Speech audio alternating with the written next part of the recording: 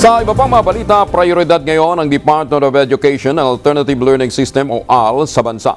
Sinabi ni DepEd Secretary Leonor Biones sa kanyang proposed sa budget na 571 billion pesos. Uh, naaprobado naman ng Pangulong Rodrigo Duterte, malaki dito ang mapupunta sa ALS. Dagdag pa ni Briones, bukod sa nakatuon ng DepEd sa formal education, mahalaga pa rin sa kanila ang pagbibigay ng pansin sa ALS para mabigyan ng pagkakataon ng lahat ng mga Pilipino na makapag-aral. Balak din nilang kumuha ng nasa 51,000 mga guro na tutulong sa pagpapatupad ng ALS.